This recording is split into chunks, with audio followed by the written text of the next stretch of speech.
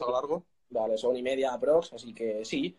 Nada, si queréis comenzamos del tirón y explicamos un poquito qué es lo que vamos a hacer, porque en principio queremos crear una rutina que todos los jueves tengamos esta serie de preguntas, respuestas, entre comillas, y temas a debatir que luego lo subiremos, lo queremos hacer como un programa más o menos, ¿vale? Eh, semanal y lo queremos, lo queremos subir a YouTube también, que eso lo editará Woody y se, se encargará él.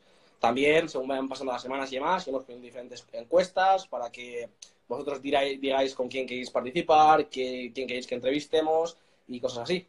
Hoy creo que el tema que nos toca es hablar de por qué no hay que empezar como sniper en lo que es el, el mundo del Airsoft. ¿Verdad, Woody? Eso es. Luego esto lo subiremos a YouTube, mucho lo estaréis viendo ahí en YouTube. Así que en los comentarios del vídeo simplemente dejar temas que os puedan gustar o que parezcan interesantes y los más votados son los que nos gustan a nosotros. Pues ya lo haremos la próxima semana a través de Instagram, que nos tenéis que seguir por eso a través de Instagram, para estar en directo, básicamente, porque si no luego lo veis en YouTube y no podéis comentar nada en directo. El ¿Por qué no empezar de Sniper? A ver, vas a empezar todo hablando de ello si te parece, porque tú estuviste trabajando en una tienda de Airsoft ¿Sí? y recibiste a muchos chavalines, sobre todo, gente adolescente preguntando pues, por qué sniper recomendabas para empezar. Entonces cuenta un poquito los antecedentes para la gente que no sabe de qué estamos hablando.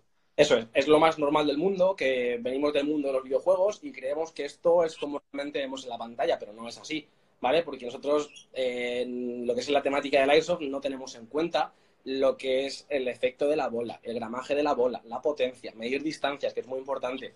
Eso no lo tenemos en cuenta y nos creemos que es como en los propios videojuegos, que tú pones la mira, disparas y la bola da. Eso es un mito y solo pasa cuando llevas mucho, pero con mucho tiempo. Por lo tanto, es un rol que realmente necesitas de experiencia, ¿vale? Y eso, la única manera de ganar experiencia es jugar, jugar, jugar y jugar.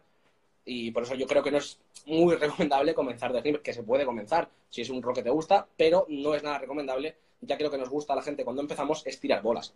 Y respecto a lo que ha dicho Buddy, cuando estuve trabajando en la tienda, eh, sí que es verdad que mucha gente venía pidiendo un sniper para empezar. Y por muy a mi pesar, a todos ellos les tuve que denegar la opción de, empezar con el sniper y después de escucharme y darme la razón, ya sí que entraron en, razón los pobres y dijeron, si es verdad, este chaval de barba aquí que me está atendiendo lleva razón y no me quiere engañar, ¿no? Mm. Y Woody, tú cuéntame por qué tú, si no me equivoco, has añadido el SSG24 y sí. ¿verdad? Sí, yo lo tengo por ahí. A ver, es que realmente. Has cambiado la eh, cámara. Has cambiado la cámara. Dime. has cambiado la cámara, que estás apuntando a ordena. Vale, es que no sé qué ha pasado aquí. Espera. Eh. Vale. Sí. Es el primer directo, chicos, así que lo mismo. y yo que, no manejo Instagram. A ver, realmente, por ejemplo, eh, hace poco Cristian, eso Review Español, subió un vídeo de un sniper que tiene, pues eso, el de Saigo, que es un L96, que tiene mira, que está tirando en potencia 500 y pico FPS, que tiene bípodes, es decir, por 180 euros tienes todo eso. Entonces, claro, tú eres un principiante, ves eso y se te hinchan los ojos en sangre y realmente quieres comprártelo y te joder, esto la polla. Y lo que dices tú es verdad, tú te imaginas en tu mente, pues eh, te imaginas a ti escondido detrás de un arbusto, te imaginas apuntando, disparando, dando largas distancias y luego realmente eh, de lo que es tu imaginación, que es totalmente normal y factible, a lo que es la realidad, hay mucha diferencia. Por eso, hasta que tú no pruebes el airsoft, no sepas lo que es, ves cómo van las bolas, las distancias de seguridad y todo eso, no puedes eh, cogerte un rol que requiere de mucha experiencia y mucha habilidad. Asimismo, tú ves un sniper de esos y dices, joder, qué barato, 150, 100 pavos, 200. Y ves una réplica EG eléctrica que de 200 euros con la batería y todo no suele bajar de joder, es que me renta esto. Pero es que realmente los snipers, los francotiradores, todos, todos, hay que gradearlos. Eso es algo que la gente no tiene, en cuenta, ¿verdad? Que realmente eh, pocos snipers hay que es lo que es lo que es pay and play, que directamente tú pagas, lo sacas de la caja y puedes hacer blancos efectivos a unos 70 metros. Hay muy pocos, y yo de los que hemos probado, que luego seguramente nos pongan a parir, por decirlo, pero el SSG-24 yo lo he probado de Buddy y sinceramente lo sacas de la caja y funciona perfecto y a 70 metros haces blanco sin ningún, ningún problema, tío. Sin ningún problema. No, y más distancia, 80 metros. Francotiradores, sobre todo, estamos hablando en el tema del airsoft eh, que se acerrojen, ¿vale? Con cerrojo. No, no valdría semiautomático ni nada de eso. En el airsoft, eso no sería un francotirador. Estamos hablando de potencia de máximo 550 CPS. Eso es. Y un punto muy importante que nunca se menciona es el saber medir las distancias, porque sí que es cierto que lo que nosotros recomendamos, en plan, no, no, empieces por sniper porque hay que tener mucha experiencia, etcétera, etcétera, etcétera, pues realmente es un tema que nunca abordamos y que sí que hay que tener muy en cuenta, que es el tema de las distancias, que hoy en día mucha gente y muchos snipers sí que es verdad que no las respetan, hay otros tantos que sí, pero hay muchos que no las respetan. Tenéis que tener en cuenta al final que estoy disparando con gramajes altos, de 0,40 en adelante. Son bolas que de cerca pegan mucho, hacen daño. Entonces, claro, es muy difícil cuando empiezas a medir una distancia de 5 metros, que es la distancia de seguridad aquí de España, por lo menos entre fusileros. Pues imagínate medir 30, 35, 40 metros, creo que necesita un sniper de mínimo. Entonces, claro, eso solamente se coge, el ojímetro ese se coge solamente con la experiencia y jugando mucho. Jota, tío, cállate la puta boca, tío.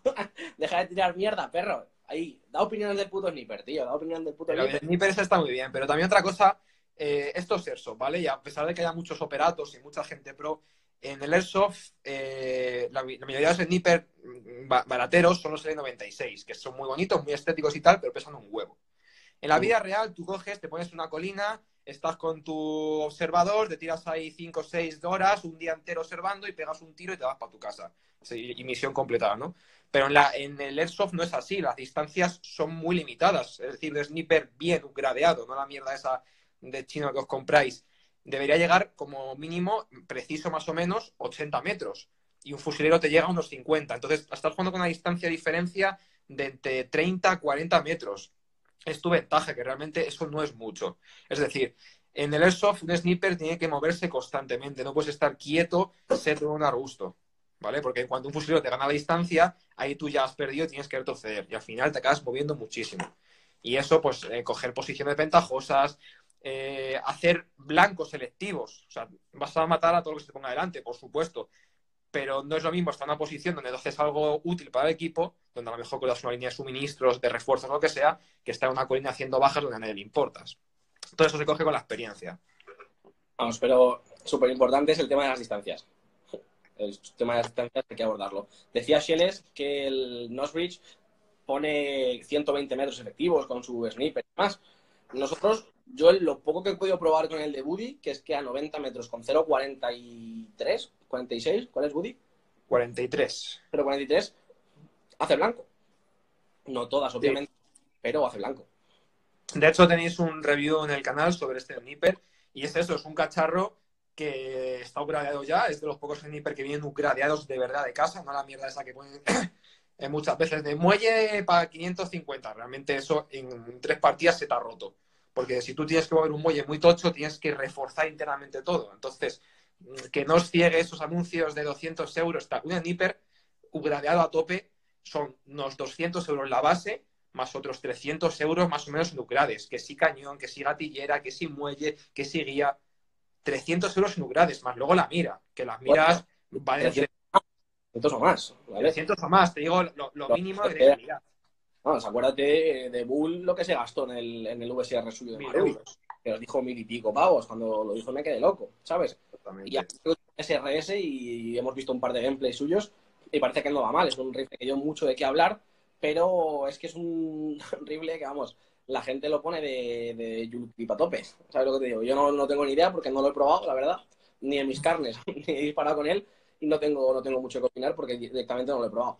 Así que no, no sé qué decir. La gente lo pone que va muy bien, que lo van muy finos y, no sé, no tengo ni idea porque no he, no he, probado, no he probado, nada. Yo sí lo he probado y va un poquito mejor de Notebridge, aunque en otros vídeos he visto que va mejor el SRS. Entonces, bueno, yo lo que he visto en directo va un poquitín mejor, aunque también va muy bien el otro.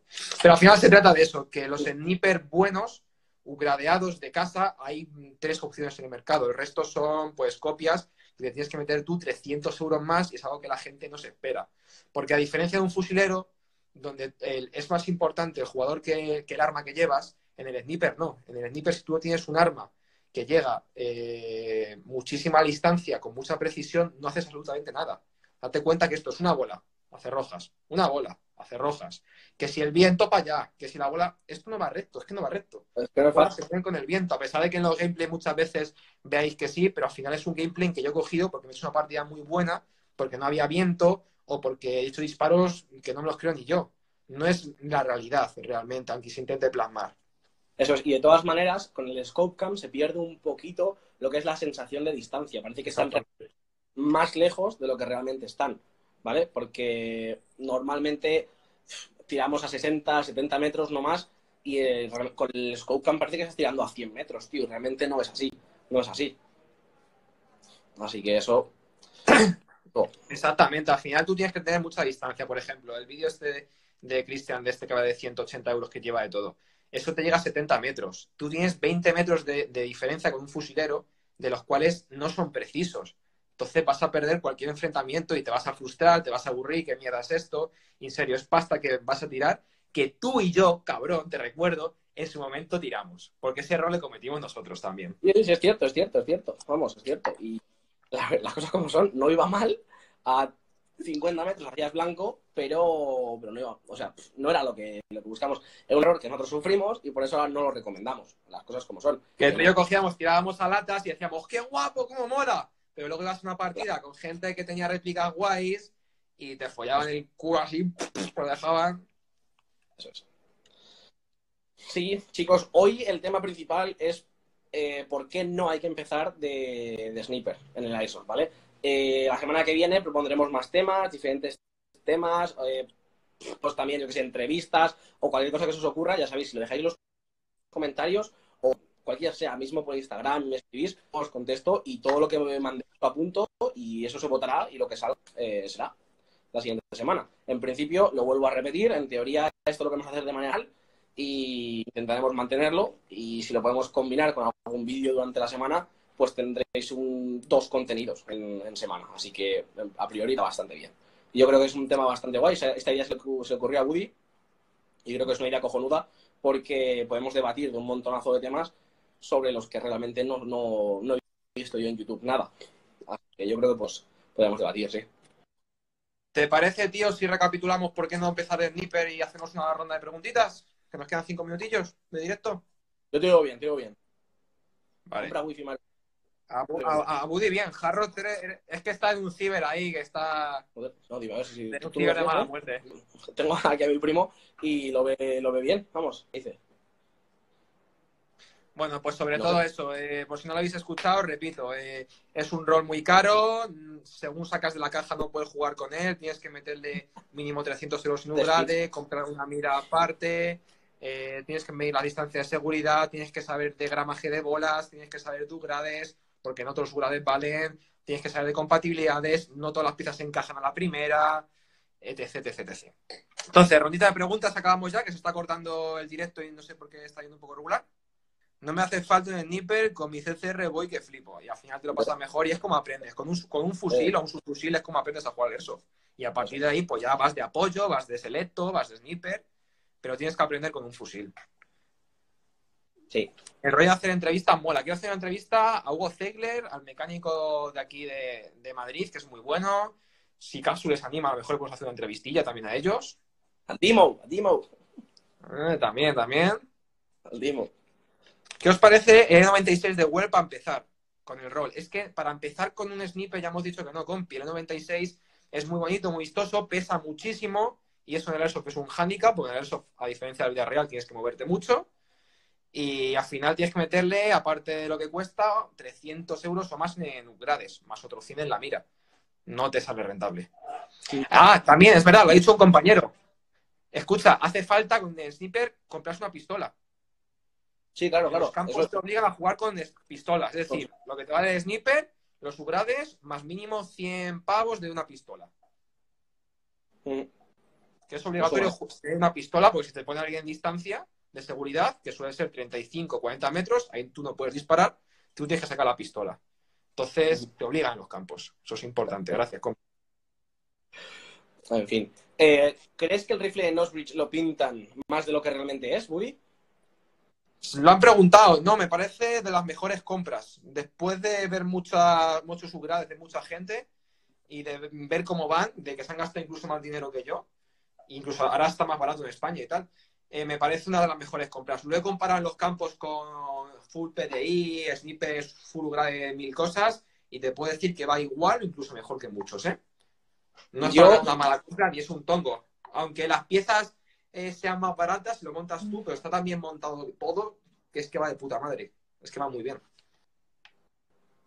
¿Sabes? Dime. Es que no, no digo que el ajuste del SRS sea un rollo, tío. No, no, no te equivoques. He dicho que los Full PDI que he visto, que llevan las cámaras estas que van con las dos levas, o que en cada partida, joder, ahora me está fallando el cilindro, o, o lo que sea, ¿sabes? Eh, la gatinera no me funciona, o tal, ¿sabes? Que en cada partida hay que estar haciendo algún jaleo. Esa es la que, a lo que me refiero.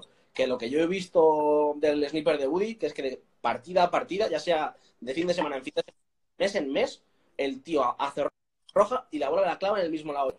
¿Sabéis lo que os Es digo? que mirad, mirad el, mirad el vídeo este que he subido de Sniper, que solamente he subido uno y es que es brutal. Además, tú lo ajustas por aquí fuera con el hop, no tienes que usar herramienta y va de puta madre. Eso está guay, eso está guay. Pues nada, niño, cortamos ya, que está pasado el tiempo y tu conexión está siendo un poquillo mal ahora. Sí, vale, si quieres cortamos y nada, lo dejamos para la semana que viene, chicos. Eh, echarle un ojo a YouTube porque seguramente Woody colgará alguna encuesta y demás. Yo colgaré también alguna encuesta por aquí por Instagram y a ver qué, qué os apetece hablar. ¿Vale, chicos? Así que nada. Pues nada, un placer. Fuck you.